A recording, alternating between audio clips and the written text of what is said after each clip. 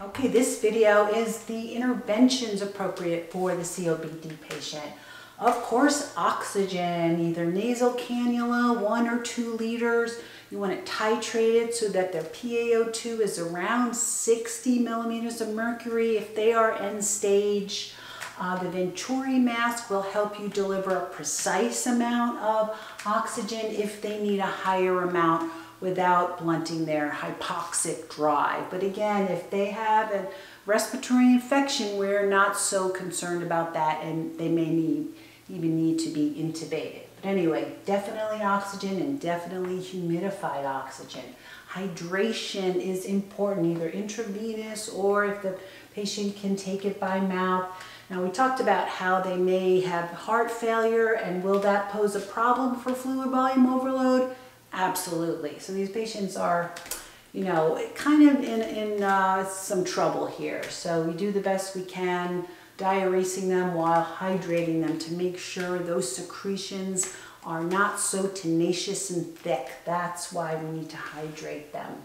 Small frequent meals, especially if they're really short of breath, um, and so with each meal, they're not able to take in sufficient calories. So making sure that they are nutrient dense meals with sufficient amounts of protein so they don't get protein malnourished, low carbohydrates. Because in the system, carbohydrates are turned into um, carbon dioxide and then their CO2 levels will be even higher. So low carb diets for these pulmonary patients.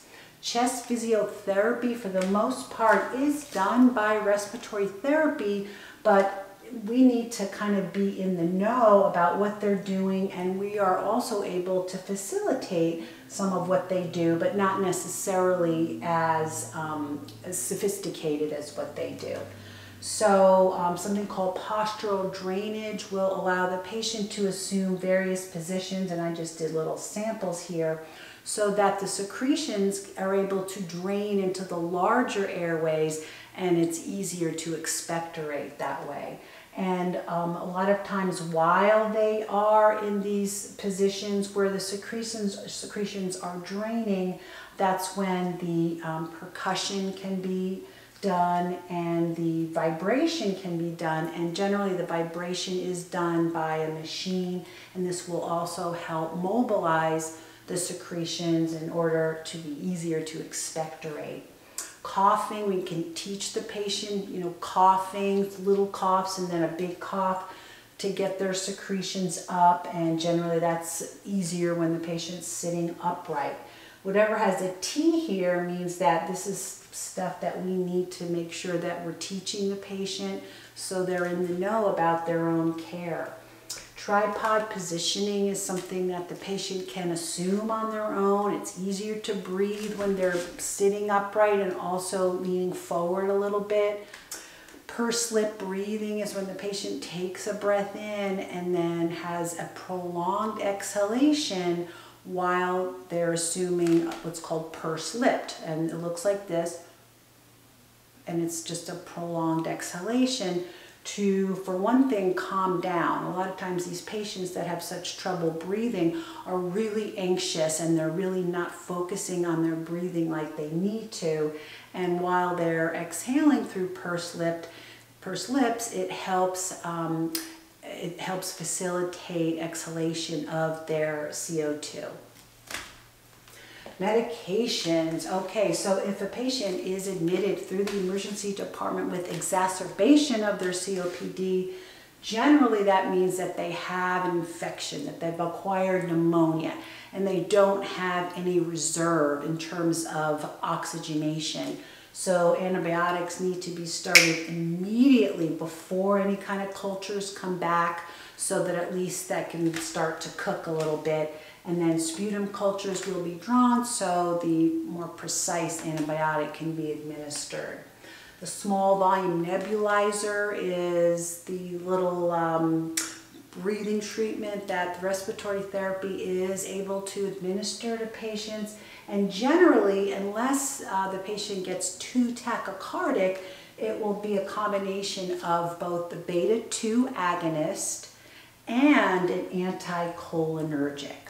So what does that mean? A beta-2 agonist is a sympathomimetic. In other words, it mimics the effects of the sympathetic side of the autonomic nervous system. So that is able to stimulate receptor sites on the bronchioles, which will cause bronchodilation. That in combination with an anticholinergic, so an anticholinergic will block the effects of the acetylcholine, which is the neurotransmitter on the parasympathetic side of the autonomic nervous system. So if you block the parasympathetic innervation, you will allow bronchodilation of those bronchioles. So one stimulates those receptor sites on the bronchioles and the other one blocks innervation of the um, side of the autonomic that could cause bronchoconstriction.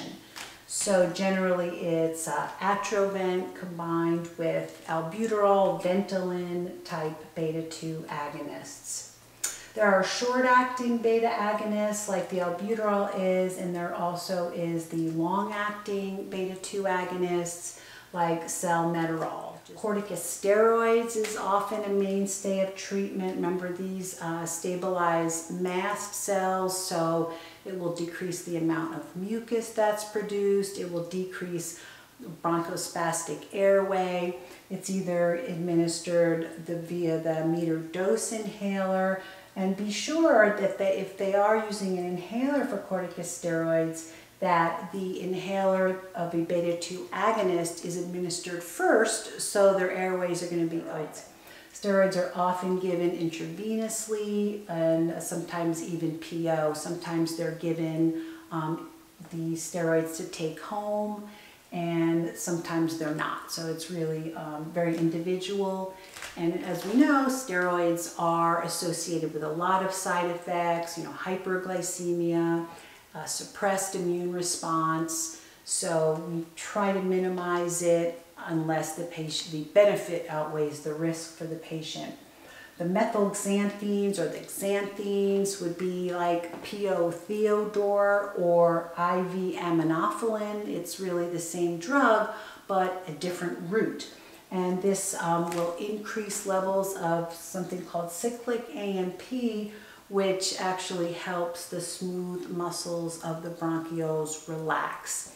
So this was more of a mainstay of treatment back in the day, but it's still, um, still out there, so it's, it's a good idea to be familiar with it.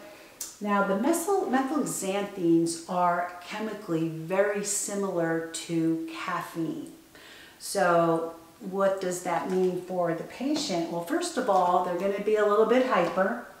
Second of all, they are going to have an increased heart rate, which is also a side effect of the sympathomimetic and the anticholinergic. So tachycardia is something that is a side effect of the SVN treatments and the methylxanthine drugs. And thirdly, just like caffeine does, it will dilate the renal artery, increasing urine output. So tachycardia, increased urine output, and jitteriness is, uh, are the side effects of these methylxanthines, and that's probably why we see less and less of them in use. Mucolytics are a great way to try to um, thin the secretions and make them easier to mobilize.